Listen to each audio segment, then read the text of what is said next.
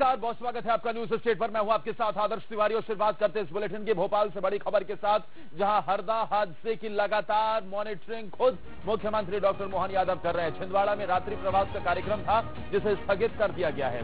हरदा कांड पर सीएम मोहन सख्त हैं और हर एक चीज़ पर बारीकी से पैनी नज़र बनाए हुए हैं। मुख्यमंत्री की तरफ़ से साफ़ तौर पर आदेश दे दिया गया है कि किसी भी दोषी को बख्शा नहीं जाएगा। दोषियों को बख्शा नहीं जाएगा, कठोर कार्रवाई सरकार करेगी। राहत कार्य और पीड़ितों का उपचार हमारी प्राथमिकता है। सबसे पहले इसे प्राथमिकता रखते हुए जितने भी घायल हैं, उन सभी को उपचार के लिए जो भी बेहतर चीज़ें हो पा रही हैं उपलब्ध कराया जा रहा है। और कई घायलों को भोपाल के हमीदिया अस्पताल भी लाया गया, जहाँ उनका इलाज भी चल रहा है। लेकिन मुख्यमंत्री डॉक्टर मोहन यादव की तरफ़ से सख्त आदेश इस पूरे मामले पर दिया गया, वो पूरी तरीके सख्त नज़र आ रहे हैं और हर एक बारीकी पर पैनी नज़र रखे हुए हैं, पूरी मॉनिटरिंग वो लगातार कर रहे हैं।